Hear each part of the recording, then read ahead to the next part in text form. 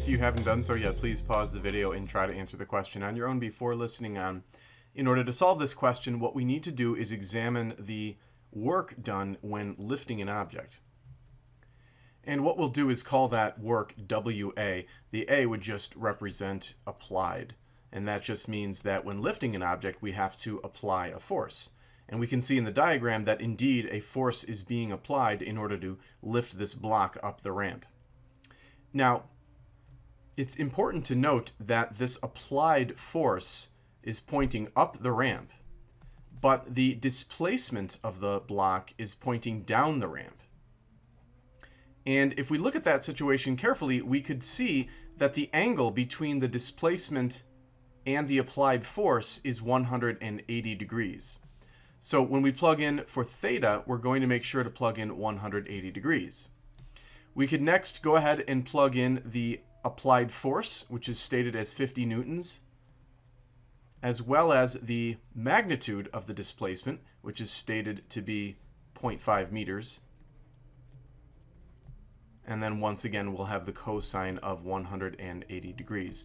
Now, when we work this out, we should get negative 25 newton meters, or if we prefer, we can just say joules. So this is the work done by the applied force as this block slides down the ramp. Now, we next note that the change in kinetic energy of an object as it's lifted up a ramp is equal to the work done by the applied force plus the work done by gravity.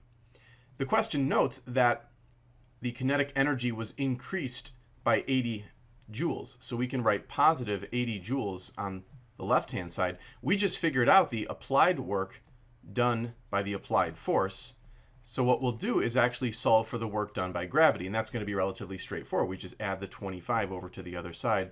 So we have 105 joules is equal to the work done by gravity. Now this is a number to keep in mind because next what we want to do is go back to this equation, but this time we're going to let the applied work go to zero joules. Now why would we do that? Well, the question states that the rope is no longer being attached to the block. So if the rope is no longer attached to the block, that means the applied force disappears. And if there's no applied force, then of course the work done by that applied force has to go to zero joules. So we'll cross off this term. So that means that we can simplify the equation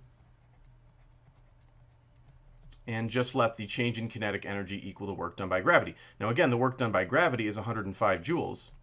So that means that the change in kinetic energy is going to be 105 joules.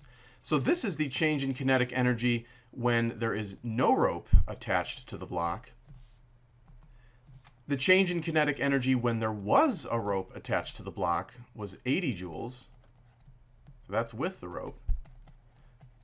So now it's a relatively easy comparison. We can see that when there was no rope present, the change in kinetic energy was greater by 25 joules. And so this becomes the correct answer to the question. Thanks for watching. If you liked the video, click the thumbs up icon and subscribe. You can send in your own question to the email address on the screen, and I'll do my best to answer it on YouTube.